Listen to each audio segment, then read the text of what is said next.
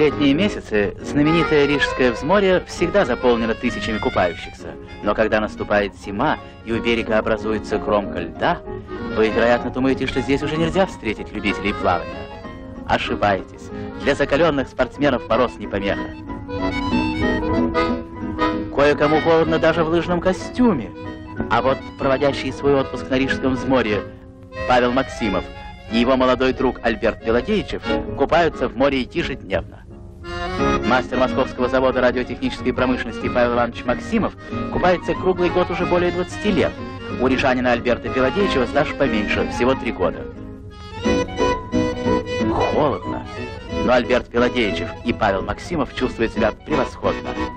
Закаливание полезно для каждого, особенно ценно оно для спортсмена. А теперь после купания приятно встать на лыжи и совершить предобеденную прогулку по живописным местам Рижского взморья.